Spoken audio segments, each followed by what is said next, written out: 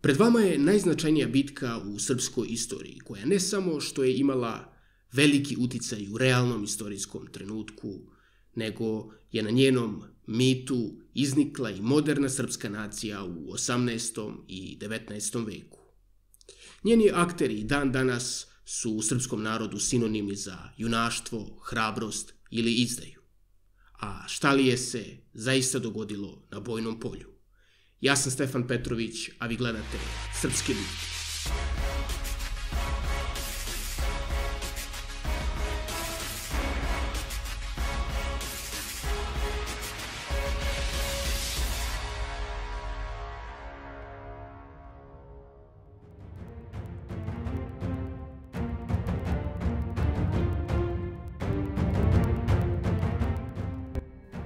Nakon velikog poraza u bici kod Marice 1371. godine, u kojoj su poginuli srpski kralj i savladar srpskog carstva Vukašin Brnjavčević i njegov brat Despot Uglješa, srpsko carstvo je ostalo bez najmoćnijih velikaša u zemlji.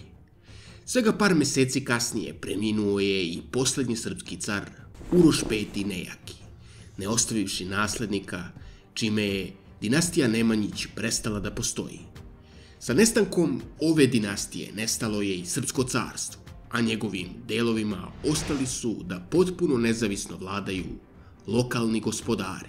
Osmanska pobjeda 1371. godine dovela je sve hrišćanske zemlje u okruženju u veoma težak položaj, jer nijedna od njih nije imala dovoljno snažnu vojsku da se suprostavi Osmanlijama. Tako su sve hrišćanske zemlje postale lak plen Osmanlijama. Međutim, sultan Murat I, iako je mogao sa lakoćom poraziti obližnje neverničke susede, bilo je upitno da li bi novo osvojene oblasti mogao uspešno i kontrolisati. Kako ne bi isprovocirao potencijalno stvaranje koalicije protiv osmanske države, Murat se odlučio na drugačiju strategiju. Naime, on je, umjesto da prigrabi što više zemalja za sebe od poraženih snaga, ponudio srpskoj velikaškoj porodici Dejanović mir u zamenu za vazalstvo. Primer porodice Dejanović pratile su i druge balkanske porodice, pre svega Bugarska, koja je bila prva na udaru Osmanlija, ali i Vizantija koja se osjećala sigurno jedino unutar carigradskih bedema. Srpski kralj Marko, sin pokojnog kralja Vukašina koji je nastradao u bici kod Marice, verovatno nije odmah nakon bitke postao osmanski vazal, ali izgubivši ogroman broj vojnika u bici, njegovo kraljevstvo je postalo nemoćno da zaustavi obližnje srpske velikaše da otimaju njegove teritorije. Tako da je nakon nekog vremena i on priznao osmansku vlast. Ovim je Sultan Murat obezbedio sebi mir na Balkanu i mogao je da rešava druge probleme u državi dok je u isto vreme naplatom godišnjeg danka financijski pripremao zemlju za buduće pohode. Tokom nekoliko godina relativnog mira Murat je od svojih oblasti na Balkanu nastajao da namesti snažna uporišta odakle će se širiti islam po Evropi.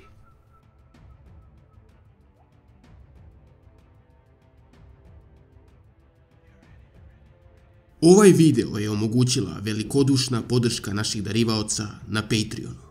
Ako želite da nas podržite i da omogućite dodatan razvoj našeg kanala, to možete učiniti malom, mesečnom pretplatom na Patreonu.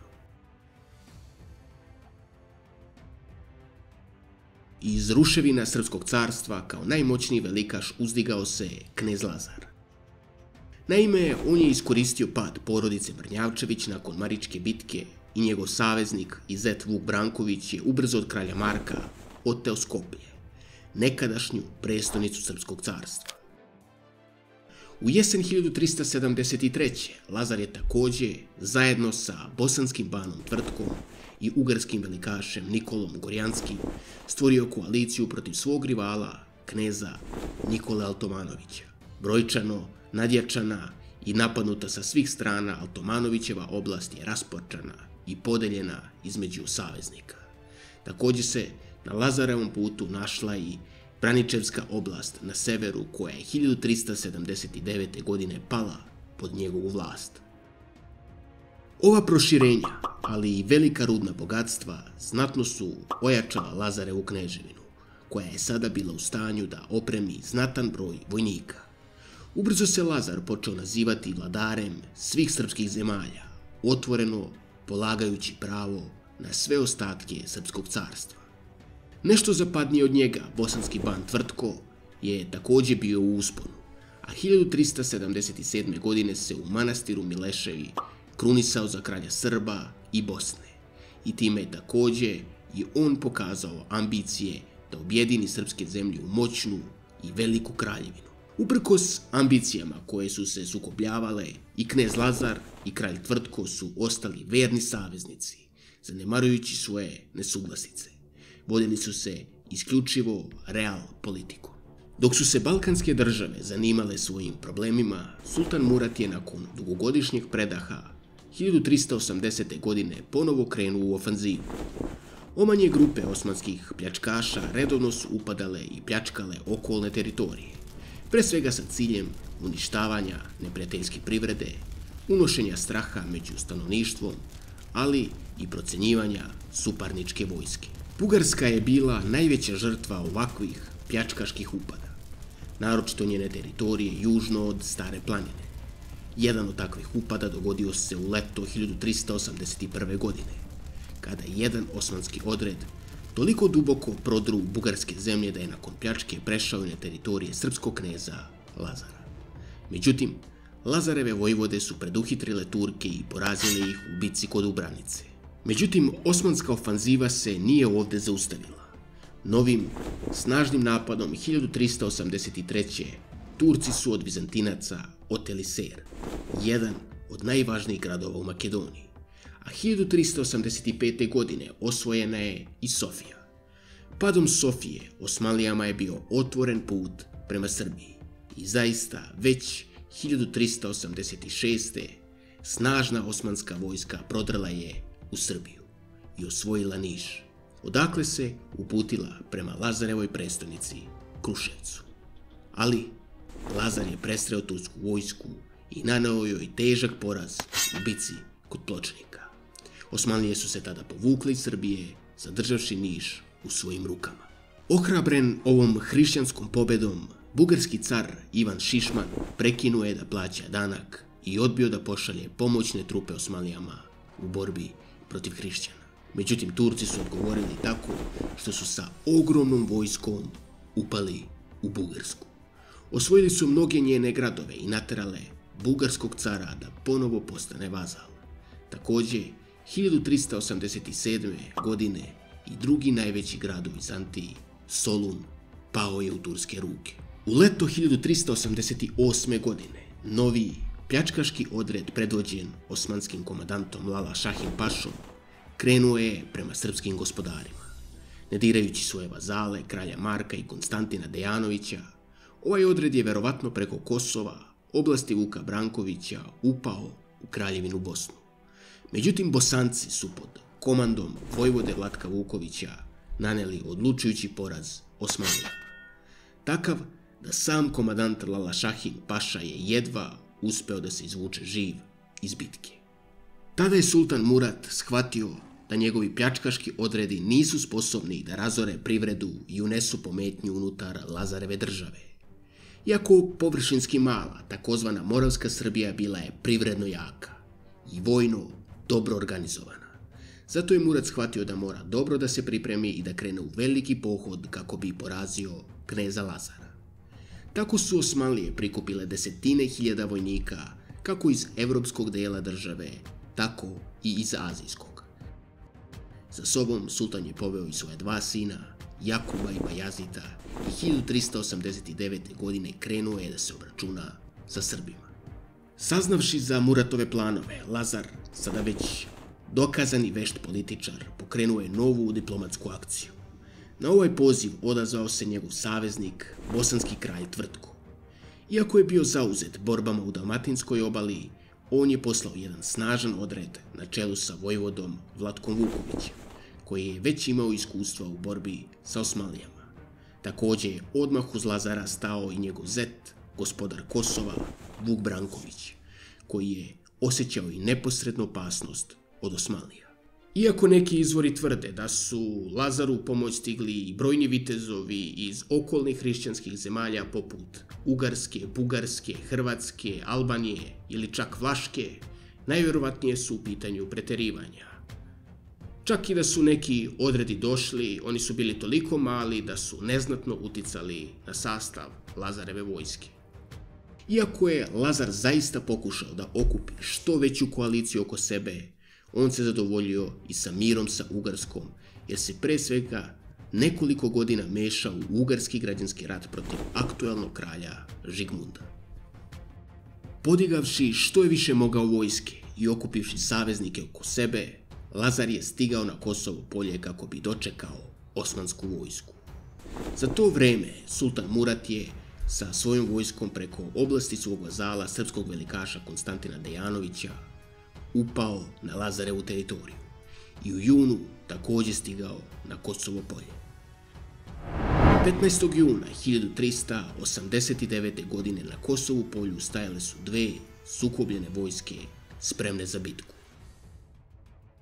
U prvim redovima osmanske vojske sultan je postavio strelce. Iza njih nalazio se snažan red pešadije koji su pre svega činili odredi Azapa, a iza pešadije bili su odredi Akinđija, odnosno latke konjice, i Spahija, odnosno teške. Levim krilom komandovao je sultanov sin Jakub i njemu su najverovatnije bile podređene anatolijske Spahije, dok je desnim krilom komandovao Bajazid kojem su bile podređene rumelijske Spahije. U centru se nalazio Murat I, uz koga su najverovatnije bili i odredi Janičara, koji su mu služili kao lična garda. Sa druge strane bojišta nalazila se koalicija okupljena oko kneza Lazara. Njihova vojska je najvećim delom bila sačinjena od teške konjice koja je bila glavna udarna sila u većini evropskih zemalja tog doba. Ona je postavljena u prve redove, a pored njih verovatno je bilo i nešto lakše konjice. U drugom redu je stajala pešadija. Lazar je komandovao centrom vojske, na čelu levo krila bio je bosanski vojvoda Vlatko Vuković, a na čelu desnog Vuk Branković. Izvori su prilično protivrečni po pitanju broja vojnika zaraćenih strana. Hrišćanski izvori govore da su Osmanlije imale veliku brojčanu nadmoćnost, dok osmanski izvori govore obrnuto. Ipak najverovatnije je da su Osmanlije imale određenu brojčanu prednost, dok su Lazarevi ljudi bili dosta kvalitetnije opremljeni. Pošto je teren Kosova polja bio pogodan za efikasnu upotrebu konjice, Lazareva strategija je bila da sa jurišom teške konjice zada takav udarac Osmalijama da potpuno rasturi njihovu formaciju. Juriš celokupne konjice trebao je takođe da stvori psihološki pritisak koji će navesti Osmalije na povlačenje.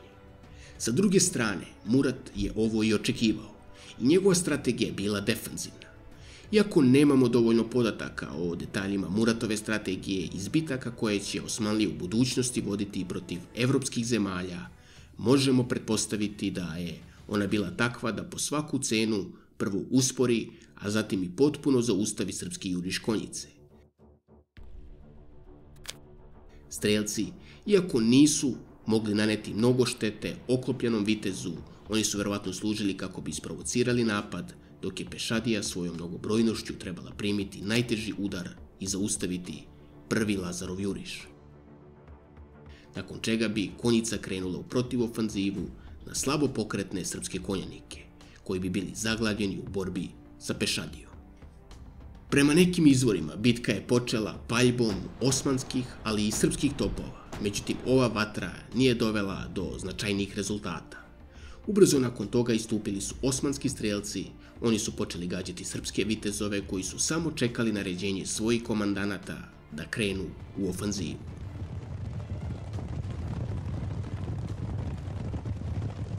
Zaista, Lazar je ubrzo naredio juriš čitave svoje konjice na osmansku vojsku. Ovim je usledio strašan galop više hiljada evropskih vitezova duž cele linije fronta. U samom napadu učestovali su i lično knez Lazar, kao i komandanti levog i desnog krila.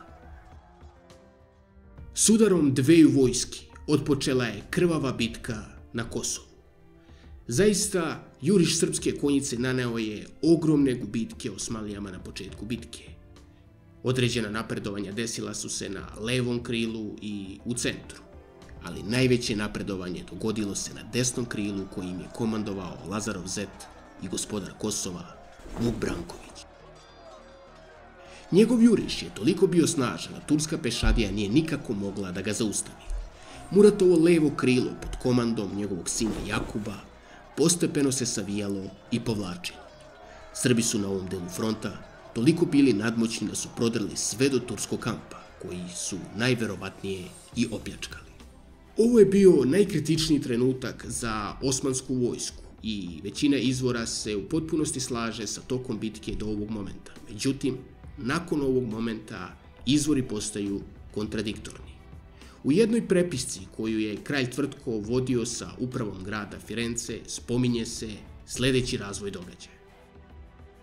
Naime, prema ovom izvoru, grupa srpskih vitezova probila se kroz osmanske redove i mačem je otvorila put do sultana Murata i njegovog šatora, koji je bio okružen kamilama. Zatim je jedan od njih, kojem se ne zna ime, navodno mačem, ubio osmanskog sultana. Ovo nije jedini izvor koji govori o pogibi Murata I tokom bitke i većina njih koji dolaze iz hrišćanskih zemalja potvrđuje ovu priču, ali je opis samog ubistva drugačiji. Najzastupljenija verzija u zapadnom svetu je ta da se srpski vitez u toku bitke došao predati Muratu, međutim kada mu je prišao na prevaru i izvukao bodež i ubio ga. Iako je vitezovo ime neposredno nakon bitke bilo nepoznato, kasnije je vitez imenovan kao Miloš Obilić, koji je u srpskoj narodnoj tradiciji postao simbol za hrabrost i borbu protiv stranog osvajača. Iako po neki osmanski izvor takođe podržava ovu verziju događaja, većina njih smatra da se ubistvo Murat dogodilo nešto kasnije, odnosno nakon bitke. Za to vreme stanje na frontu se nešto poboljšalo u korist Turaka. Ugroženom osmanskom levom krilu verovatno je stiglo pojačanje kako bi se stabilizovala situacija, a desno krilo je uprkos gubicima zaustavilo dalje napredovanje Bosanaca. Tada je Bajazid najverovatnije u borbu uveo svoju konjicu i krenuo je u protivofanzivu na Vlatka Vukovića. Ukoliko je tačna verzija događaja da je Sultan Murad poginuo u toku bitke i da je Bajazid preuzeo kontrolu nad čitavom vojskom, zaista je zapanjujuće kako su Osmanlije uspele da zadrže disciplinu i da čak krenu u protivofanzivu. Vlatko Vuković je tada počeo da gubi kontrolu nad svojim trupama koje su se postepeno povlačile. Na kraju, je čitavo srpsko levo krilo krenulo u beg. Poraz na levom krilu ugrozio je Lazare levi bok, koji je ostao potpuno nezaštićen.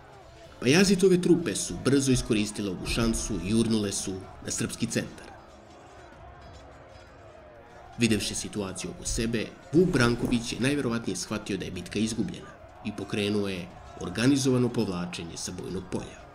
Lazar, verovatno u nemogućnosti da svoje povlačenje izvede organizovano, ili je pao u bici, ili je zarobljen, nakon čega je obezglavljen. Prema većini osmanskih izvora, ubistvo sultana Murata se dogodilo dok su njegove trupe bile raštrkane i dok su gonile srpsku vojsku. Navodno je sultan u tom trenutku ostao sam na bojnom polju što je iskoristio jedan hrišćanski ratnik koji se pravio mrtav i ubio ga na prevaru. Pošto se zbog protivrečnih izvora ne može utvrditi tačno vreme Muratove smrti, isto tako ne možemo utvrditi ni tačno vreme Jakubove smrti, jer je se ona dogodila neposredno nakon Muratove, kako bi Bajazid postao novi sultan Osmanskog carstva.